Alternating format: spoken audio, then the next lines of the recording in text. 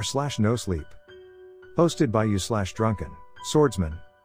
I was part of a six person expedition to the South Pole. I was the only one to make it back alive. Part 1.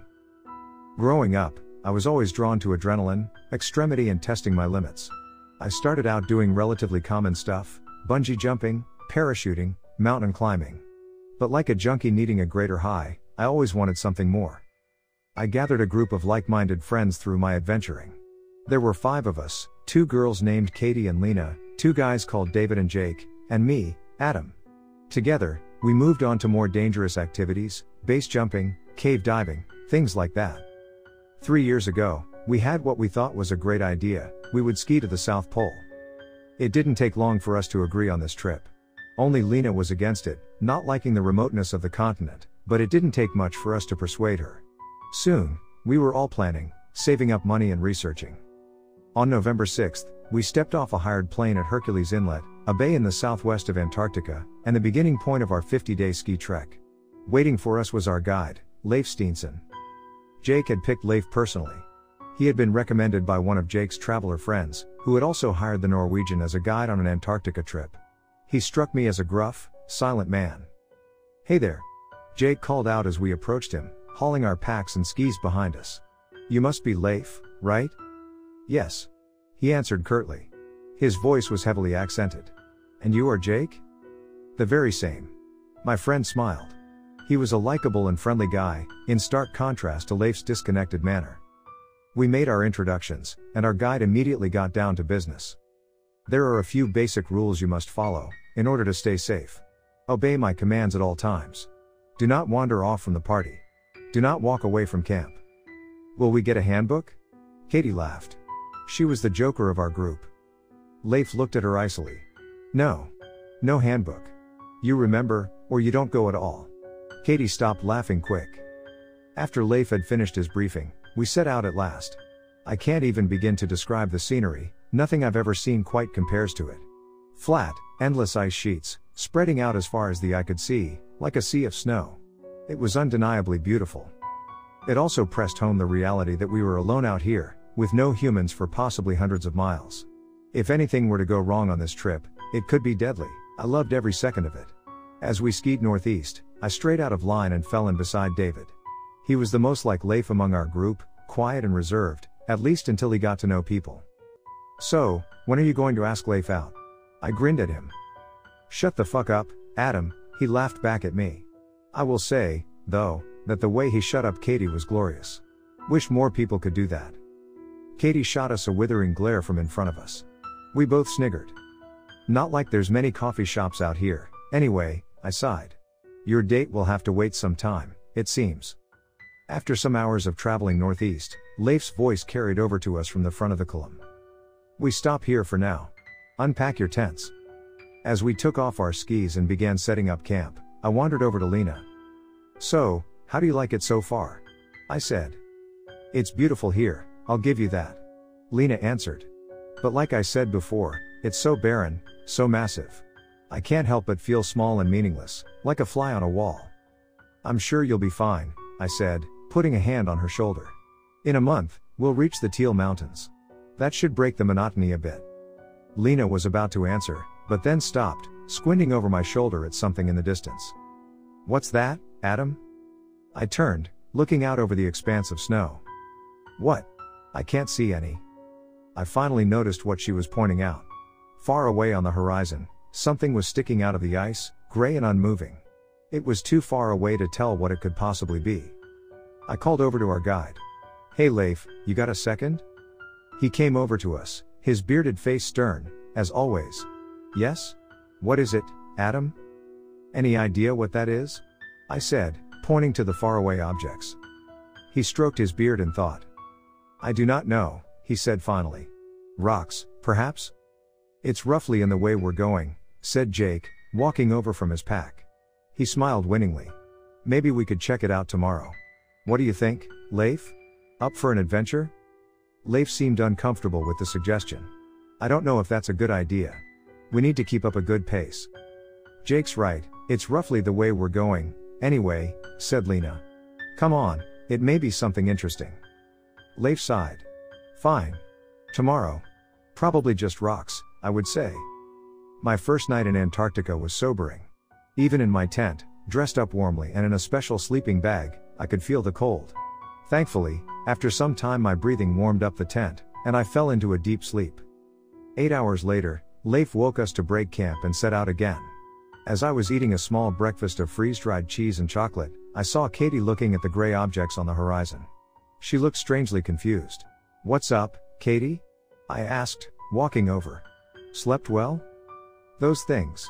Weren't they to the north when we set up camp? She answered. I frowned, trying to remember. I think so, yeah. Why? They're to the east now, Katie said. I paused, confused. Are you sure you didn't get turned around? No, no, I checked my compass. It's definitely to the west. I frowned again. I guess we misremembered, then. We were all tired, after all. Yeah, must have been that, Katie said absently, her mind elsewhere. Wonder what those things are, anyway. Guess we'll find out soon enough. After eating and packing up, we put on our skies and set out, heading towards the strange things on the horizon. Leif seemed slightly troubled, and I wondered if he too had misremembered the direction they were in. As we got closer, we could make out what the things were. A circle of massive rectangular stones, standing on their side. They reminded me instantly of Stonehenge. Approaching them, David fell in beside Leif. I thought Antarctica never had an indigenous population, he said. Who could have made something like this? Our guide appeared perplexed. I will be honest with you, I do not know. I've never seen anything quite like this before. I thought you'd been through these parts of the continent before, said Lena. I have, but I did not encounter this. It is irregular. We should take a closer look. Katie grinned back at our guide. Good to see you've warmed to our little adventure, Leif. We approached the circle cautiously. Up close, we could see that the stones had once had carvings of some sort on them, although they had long been destroyed by time and wind. In the center of the circle was a low, square slab of stone. Four grooves ran from its center to each corner. What the hell? whispered Lena. How did this even get here? Aliens? smiled Katie. Isn't that always the answer? I walked over to the central stone. It was dark, about knee height, and featureless. For some reason, it made me strangely uneasy, although I couldn't pinpoint why. I touched it hesitantly. It was completely smooth, unlike the rest of the circle. We should continue. Leif called out. We have a timetable to fulfill. We can write down the coordinates and, once we return, tell someone who will know what to do with this discovery. Slowly, our group pulled back together, and we set out again. The expanse stretched out around us, completely featureless, and I was glad we had an experienced guide like Leif. Every so often, he would take out a compass and check our heading, making slight adjustments every time. I slept better on our second stop, knowing that the cold would get better eventually. I talked with Lena before I went to bed, and she confessed that the stone circle had made her feel uneasy, as well. It shouldn't be here, she said firmly. This place hasn't had any native people. Ever. It's only scientists and tourists, and why would they possibly make something like this? Maybe Katie's right, I smiled. Aliens. Lena groaned theatrically. You're all underestimating how important this discovery could be. Maybe we've accidentally stumbled on proof that the history of this continent was completely different. I hope not, I don't want my name in a history book being my legacy. We both laughed, the unease of the situation relenting somewhat. When I woke, I could tell something was wrong. I could hear hushed voices talking outside my tent. I climbed outside, rubbing my gritty eyes. Leif, Lena, David, Katie, and Jake stood in a huddle in the middle of our campsite. They were talking quietly, and casting furtive glances to the west. I looked over to where they were looking. On the horizon, far away, I could see a familiar circle of gray stones. A chill ran down my spine. I walked over to my friends. How is this possible? I asked incredulously. Those things should be to the south of us. They shouldn't even be close enough for us to see them. Leif silenced me with a gesture. We have been talking about it, Adam. The only logical explanation is that this is a second circle. It is. Strange, to say the least. I have never heard of a stone circle in Antarctica, let alone two. Do we go investigate it? asked Lena. No, replied Leif resolutely. Yesterday's detour already put us off our timetable. We must press on. I will write down these coordinates, and we will pass them on to the experts later. We packed up and set off. A strange hush had fallen on our group. The second circle had affected us strangely. I could tell the others were disconcerted by them now, not just me and Lena. During the day's hike, I only talked once, with Katie. I was hoping her joking attitude would help me relax. So, aliens, huh? I said, skiing next to her. That a professional opinion? She grinned at me, but I could tell she was troubled. It's obvious, isn't it? She answered jokingly.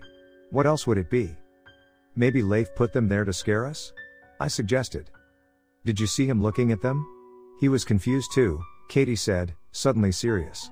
And he's been through here before, how come he didn't see it? Maybe it was snowed under? I suggested. I've read that the landscape can change a lot here. Our conversation trailed off, and we remained silent till we broke camp again. Before I went to sleep, I noticed David scanning the horizon. It was a clear day, and we could see miles away. What you looking at? I asked, walking over to him. Snow and ice? I'm making sure there's no bloody stone circles around here. David replied. I laughed, but he didn't join in. I went to bed, once again feeling uneasy. A commotion in the camp awoke me suddenly. I tore out of my tent, not even getting out of my sleeping gear. David was shouting, cursing. What's happening? What's going on? I yelled. David stood on the edge of our camp, gesticulating wildly at the western horizon. My heart missed a beat as I saw what he was cursing at. A circle of gray rocks. My friends came out of their tents, confused and sleepy. Their confusion quickly turned to an uncertain fear. How is this possible? Lena asked. I don't know, answered Leif. Even he seemed troubled, and he kept checking his compass, as if confirming over and over that the rocks were indeed in that direction. I was about to suggest we go investigate, but David cut me off. Where's Katie? We stood in silence for a second, turning, looking around. Leif ran over to Katie's tent and unzipped it. It was empty. Not even her sleeping bag remained. Our group fell quiet for a second. No one knew what to say, what to do. Leif broke the silence. There are footprints here. Looking closer, I saw he was right. Booted footprints were impressed in the snow, going from the tent entrance, around it and away from the camp. We followed after them. Soon, Lena threw her hands up in frustration. What the fuck? She exclaimed. What the fuck is going on? Peering past her, I could see what had angered her. The footprint stopped. Suddenly and without any warning. It was as if Katie had suddenly flown straight up into the air. We gathered around the place they ended. Jake cleared his throat. Leif? He began. What's the plan, man? What's our next move? Leif was silent for a second, staring at the abruptly ending footprints. Then he looked at Jake. We have to search for her. She has to be here somewhere. We will spread out into a line and. He trailed off as something on the ground caught his eye. I looked down. Our movement had upset the snow, showing ice beneath. It was oddly clear, almost like frozen glass. Through it, we could see something red, a piece of fabric, frozen deep below the surface. Leif cleared his throat audibly. Clear the snow below us. We set to work, moving the snow with our gloved hands. Soon, we could see what lay below. Jake cursed savagely, and Leif crossed himself. My breath stopped short as I realized what I was seeing. Frozen solid in the ice below, lying in her bag as if she was still asleep, was Katie. Posted by you slash drunken, swordsman. I was part of a six person expedition to the South Pole. I was the only one to make it back alive. Part 2. I went on a skiing expedition to the South Pole with four friends and an experienced guide. Things didn't exactly go to plan. If you're confused, you should start at the beginning. Lena sat down in the snow, her breath coming in panicked gasps. David and Jake stood paralyzed, staring at Katie's frozen form. I grabbed our guide by the shoulders, turning him to face me. What the fuck, Leif? I shouted. How did this happen? What the hell is going on? Leif looked at me. His face was like carven rock, but I could see a gleam of fear in his eyes. I don't know. He replied, almost whispering. But we must return. We have to get out of here. What, and leave Katie behind? said David incredulously. You can't be serious. There is nothing we can do for her. She is dead. We have no pickaxes to dig her out, and even if we did, what would we do then? Leif was somehow remaining calm. We need to return. Whatever is happening out here, we must escape it. We must go back to Hercules Inlet. What is happening here? yelled Jake, his anger flaring up. Who? What did that to Katie? Leif looked at him. I don't know, he said finally. I am as scared as you, Jake. But if we wish to survive, you have to listen to me. We have to turn back, now. A shocked silence fell on our group. Slowly, we picked ourselves up and headed back to camp. David stayed the longest, looking down at Katie's frozen form through the ice. I put my arm around him and led him away. As we packed up and prepared to leave, my eyes kept returning to that damning stone circle. It seemed even closer than before, mocking us, threatening us. We set out in mournful silence. The weather, fair for the last three days, was taking a turn for the worse. Snow and wind began gaining in strength. Finally, Leif stopped the group. We must set up camp before the conditions worsen. He announced. We set about the task. As we worked, Leif continued talking.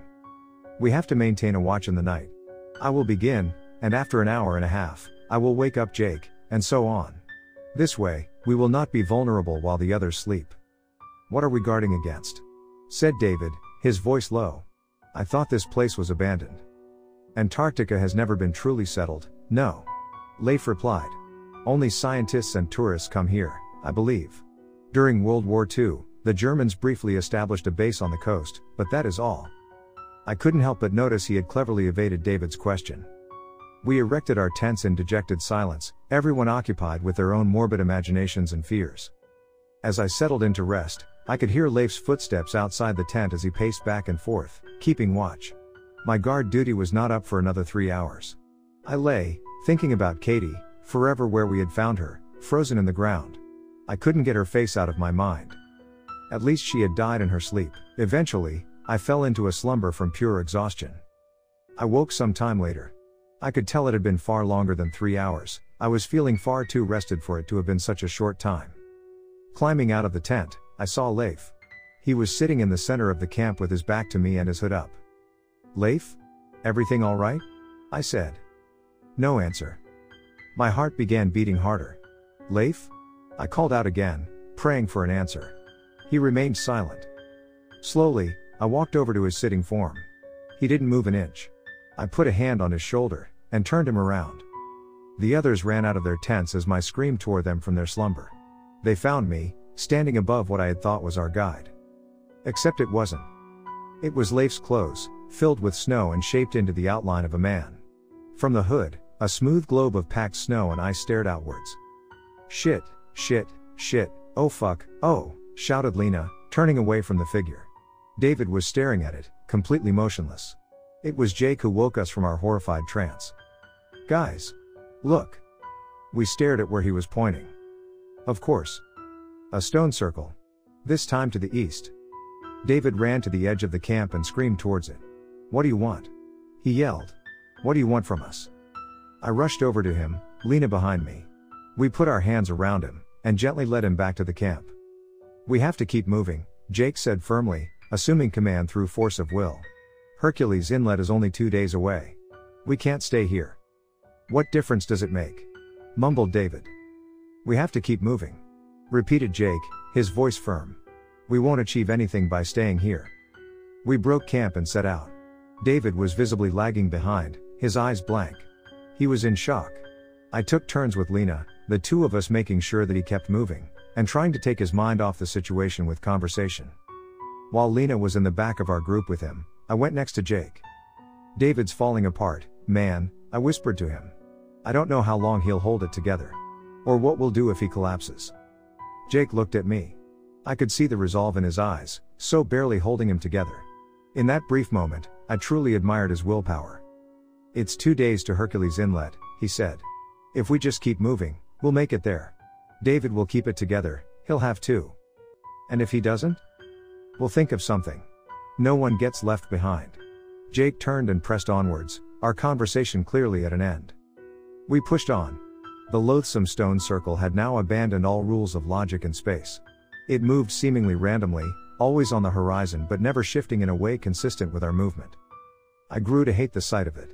Somehow, I had no doubt it was connected to everything that had happened to our group. By the time we stopped to make camp, David had recovered somewhat. He was still distant and brooding, but I hoped he would be alright for the time being. We quickly agreed there was no point in standing guard over the camp. Whatever had happened to Leif, it had happened while he was on watch, and he hadn't even managed to raise the alarm. We had a strange, naive sense of security while we stayed in our tents, like children hiding under their blankets at night. Even so, falling asleep was hard. The ever present terror and foreboding, the fear of being taken next, it was hours until exhaustion finally put me to sleep. I dreamed that night, a horrible nightmare. Someone was opening the front of my tent. I lay in terror, holding my breath. The zipper went down. A grasping hand grabbed my legs and pulled me, kicking and screaming, into the snow outside. A dark, hooded figure stood above me. It reached down with gloved hands, going for my neck. I flailed wildly about, searching for a weapon. My hand tightened around a skiing stick, lying in the snow. I lashed forward, driving it like a spear into the figure's throat. Blood spouted out. It gurgled horribly. I woke. I could immediately tell something had happened in the night. Lena was crying outside, low, heaving sobs. Jake was comforting her. Silently, dejectedly, I climbed outside. David? Jake nodded grimly. Gone from his tent. Footprints? Yes. Where do they lead? Instead of answering, Jake pointed, gesturing behind me. I knew what I would see, but cursed loudly anyway when I saw the damn stone circle in the distance behind me. It was a lot closer than before, about a mile away. We should go check it, Jake said, although I could tell he didn't expect to find anything good. He may still be alive. We didn't break camp before setting out. I think there was a slight hope shared among us, that if we hurried, we would find David, that he would somehow be alive. As we approached the circle, we could see something was lying on the central slab. I gestured to Jake and Lena to wait. Stay here. I'll check it out. They didn't argue. I walked into the circle cautiously, and approached the central slab. I almost vomited when I saw what was on it. David, covered in blood. It was running away through the four grooves on it, a frozen trickle leading to the four corners of the stone on which he lay. His throat was speared through by a ski stick. My ski stick. I retched, gasping for air. I couldn't have done this. I had been sleeping. Had I? Was it a dream? Was I sleeping? I stumbled back to the others. Lena saw my expression, and her face fell. David. Is he? Dead, I said hoarsely. I wish we had cried. I wish we had mourned our dead friend like people should. But no tears would come, no deep sorrow. Only a emptiness inside our souls. I think that we were all too numb, too shocked, to process the situation enough for an actual reaction. Some leftover survival instincts or self preservation force kept us moving. We packed up our tents and left. It was some four hours into the journey when Jake stopped us. Guys, look. What is that? We turned, half expecting to see another stone circle. Instead, we saw a small, square building, rising from the snow.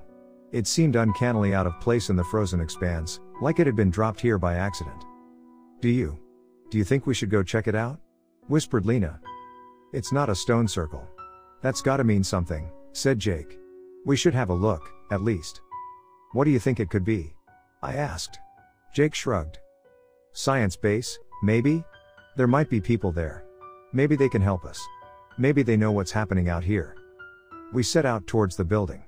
The closer we got, the clearer it became that it hadn't been used in a long while. Its cement walls were smoothed and half snowed under. Its iron door hung on the hinges, rusted and ajar. I guess Leif was right when he told us about the Germans, said Lena, pointing at the door. Impressed on it in fading paint was a large black swastika, above the words Ahnenerbe. I whistled under my breath. So what is this? Secret Nazi base? I thought they only had a small one on the coast? Said Jake. Doesn't seem like it. I answered. Do you think we should go inside? We were quiet for a few seconds, weighing our options. Lena finally answered. Yes. Maybe we can find some answers down there. Or a weapon, or something helpful. The door swung open with a resounding creak, and we crept slowly inside, into the dark and the cold. The passage led downwards, seemingly cut into the ice itself. We found the first body in minutes. It had been preserved by the cold. A young man, dressed in a dark military uniform. He gripped a pistol in his hand, and a bullet wound marked the side of his head. Next to it lay a battery powered light, which Jake picked up and tested. Somehow, it still worked, casting a slim, flickering ray of sickly yellow light through the tunnel. More bodies, lying everywhere. All of them, gripping guns, with bullet wounds through their heads. I shivered. What the fuck happened here? Jake swallowed audibly. I don't know. Looks like some sort of mass suicide. We continued down the passage. Doors led off to the sides from it, opening up onto rooms filled with antiquated machinery and workstations. There were also several libraries, much to our surprise. At the end of the corridor was a large iron door, much heavier than the others. We stopped in front of it for a second, apprehensive and fearful. Lena broke our reverie. Oh, to hell with it, she said, leaning forward and pulling on the door. It budged open with a loud screech. Jake shone the light into the room beyond. We squinted into the dark, looking upon a massive chamber, tens of meters wide and deep. My heart dropped when I saw what it contained. Is. Is that what I think it is? asked Jake hoarsely. I nodded grimly. Before us, dominating the center of the room, lay a massive circle of gray stones. Posted by you slash drunken, swordsman. I was part of a six person expedition to the South Pole. I was the only one to make it back. Final. I went on a skiing expedition to the South Pole with four friends and an experienced guide. Things didn't exactly go to plan. If you're confused, you should start at the beginning. We stared in mute terror and disbelief at the massive construction. Well. Shit. Muttered Jake. There's things painted on the ground, Lena said. Looking down, I could see she was right. The circumference of the stone circle was drawn on the floor with dark paint. Within, it was filled with stars, suns, and strange geometric shapes that made my head spin just from looking at them. Peering into the center of the circle, I could see that there was a body on the central slab. The dead man was sitting cross legged, frozen in his final, fatal position. Looking closer, I noticed he didn't have a gunshot wound like the others. A piece of paper, folded and yellowed with age, lay before him. Guys, come have a look. This one left a note. My friends joined me. Lena took the paper tentatively and opened it, careful not to damage the ancient page. I can translate this. You know German? asked Jake, surprised. Lena looked at him, slightly amused, even in such a place as this. How long have you known me, Jake? Seven, eight years? She looked back down onto the paper. It's very confused. The poor man was probably already half mad when he wrote it. Does it say anything about what happened here? I asked, my breath making clouds of steam in the cold air. Yes. It. It seems they were sent from Germany to carry out some sort of experiment? Ritual? It's unclear. The Ahnenerbe were a weird pseudo-scientific group, sometimes dabbling in the occult. This sounds like something they would do. What kind of ritual? I asked, a shiver running down my spine. He doesn't say. All he knows is, they needed these stones, and a place where no man has ever lived. The stones were ancient, found in some old warlord's grave in Europe. The Germans didn't even know exactly how old they were, or who made them. And the suicides? Does he say anything about them? Yes. After the ritual was complete, strange deaths started to plague the base. They couldn't escape, Germany was being beaten and no one answered their calls for help. Rather than be taken by whatever they had called into being, they decided to commit suicide. And this guy? What happened to him? He didn't kill himself. He says he was the one who carried out a sacrifice on the central slab, and he wants to know what he has brought onto this world. He says he won't kill himself until it comes for him. We stood in silence, digesting this cryptic information. I couldn't help but think about the man's fate. He hadn't killed himself, and he hadn't been killed, despite being the one actually carrying out the ritual. It was the cold or the hunger that did him in. We shouldn't stay here. We have to keep moving, or we'll never reach Hercules Inlet, said Jake finally. We nodded in agreement. Quickly, we returned through the passage. First Jake, then I passed through the door. Lena was following. She never made it out. The door swung closed behind me with sudden, brutal force. I jumped, and Jake cursed. Lena. Get me out of here. Lena screamed from the other side, terror twisting her voice. Get me out. I grabbed the door, pulling at it with all my strength, but I struggled in vain. It wouldn't move. Jake joined in, groaning and panting. Lena was beating on the door in panic, screaming and crying in fear. We pulled and pulled at the door, but it wouldn't move an inch. Get me out. Get me out. Get me. Suddenly, her voice cut off. The hammering on the door abruptly stopped. There was silence. No. Screamed Jake. He tore at the door desperately, but still it wouldn't open. Lena? I said, my voice quivering. There was no reply. She's. She's gone, whispered Jake. It's taken her too. Help me open this fucking door, man. I swore desperately. Together, we pulled again and again, but the door simply wouldn't budge. After half an hour, we collapsed into the snow, exhausted and defeated. I don't know how long we lay there. Our minds, stretched to their limits, had finally had enough. This time, though, the tears came freely. After some time, I picked myself up. The hollow, empty feeling of shock had returned. I had no more S. We keep moving. We can't stop now, I said. Jake nodded, but I could see the desperation in his eyes. We will make it, Jake. We will. My own voice sounded hollow, a mockery. Jake didn't notice. We slung our packs and continued north. The following day is a blur in my memory. Grief, shock, and exhaustion had taken its toll on us. We were moving from muscle memory alone. When we stopped and set up camp, we remained silent. What was there left to say? Even if we got out of there alive, could we really live on like before? Through some mute communication, we decided to sleep in one tent. It gave us more of that naive sense of security, even though it had not protected David. Or anyone else, for that matter. When we awoke, we breathed a silent sigh of relief. We were both alive, both present, both lucid, or at least as much as we could be, given the circumstances. Once again, we shouldered our packs and set out in silence. The circle was on our left now, unmoving and sinister. I kept glancing over at it, almost expecting it to move closer to us. Jake seemed to be pointedly ignoring it, refusing to even look in its direction. After several miles, he spoke up, the first time I'd heard his voice in hours. Do you know what's the first thing I'll do once I get out of here? What? I said, confused as to where he might be leading with this. I have no idea. Go to Stonehenge. I stared at him incredulously. Why? Why in fuck's name, of all places, would you go to goddamn Stonehenge? Jake grinned. To take a shit on the stones there. I was silent for a second. Then I started to laugh, a hysterical, insane laugh. The type of laugh only someone on the brink of death, pushed beyond his limits, can have. Jake joined in as we skied forward. You can count me in on that, man. Yeah. Revenge is B. Suddenly, there was a sickening, tectonic crack from beneath us. The earth shook, and we swayed to keep our balance. The ground fell away. We had been traveling over a hollow in the ice, and without warning, it gave way. We fell downwards, only a few meters, but the skis affixed to our legs made our landing clumsy. As Jake hit the ground, he let out a scream of pain. The air was knocked out of me as I hit the ground. I gasped, my lungs burning. I crawled over to where Jake lay. Are you alright? No, he said through clenched teeth, his face twisted in pain. I think. I think I broke my goddamn ankle, Adam. My heart dropped, but I forced myself to my legs. Come up, I'll help you. Jake leaned heavily on me, and I slowly raised him to his feet.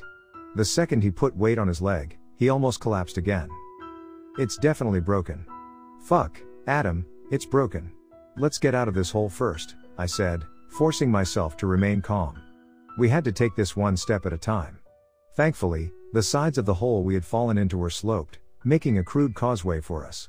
Slowly, painstakingly, I helped Jake get out of the hollow. Every step, he would wince and gasp in pain. Once we were on the surface again, Jake sat down onto the snow. What do we do now? He said. I can't walk. I can't ski. I didn't know. Let's. Let's just stay here for now. Rest your leg. Maybe it's just sprained, and we can continue later. Sounds good. Answered Jake, but I could hear it in his voice, we both knew his ankle was broken. No amount of rest would help him. While Jake rested, I took a ski pole, it had been Lena's, and broke it in half. I cut a length of rope from our supplies, and approached Jake. What's that? He asked. Splint. I answered. He smiled thinly. Didn't know you were a certified field medic. I'm not. But if it helps you walk, it's worth it. I tied the makeshift splint to his leg. Jake hissed in pain when I tightened the rope. Alright, doctor. Let's see how well this works. Swaying and grimacing, he raised himself upright. He took several steps. I could tell he was still in pain. We tried pushing on. Once again, I came to admire Jake's willpower, even in horrible agony and at the end of his sanity, he didn't give up. But it quickly became clear we wouldn't make it anywhere like this. It took us two hours to go a mile. At the end of it, Jake collapsed into the snow. I returned, kneeling beside him. You need to rest, I said. We'll move on later. I'm no use to you, Jake whispered. I'm just slowing you down. We'll never make it with my pace. Don't talk like that, I said, anxious for my friend to not lose hope. It's true, Adam. He answered, looking up at me. I'm just dead weight now. And whatever's hunting for us, that damn circle. It won't let us leave, will it? It's been playing with us all this time. He laughed, but it was an empty, morbid sound. For all we know, it's been leading us in circles, anyway. Oh, the irony. Circles. Just rest, Jake, I said.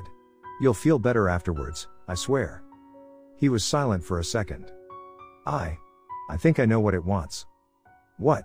I asked, dreading the answer. What are you talking about? The circle, Adam. The man we found on the altar, he made a sacrifice to it, and it didn't kill him.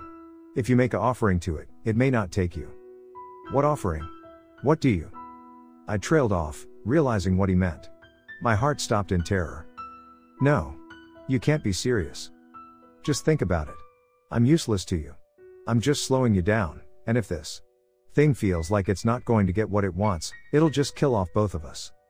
My blood ran cold at my friend's words. I can't do this. You know I can't do this. We don't even know if it works like that. Jake looked over my shoulder and laughed grimly. I think we do. I think it just sent us a message. I looked up and started in shock. Somehow, even though we hadn't moved, we were now sitting inside a circle of gray stones. Looking back down, I realized that Jake was actually sitting with his back against the horrible altar itself. Jake. I. Please. Let this be my last sacrifice, a last act of friendship. Let my death have some meaning, at least. Grimacing, he pushed himself upright, using the altar as support. Stretching his arm out, he placed his ski stick into my cold hands. I. I won't do it, I said, my voice quaking. Jake looked me in the eyes silently, and my heart broke. You have to.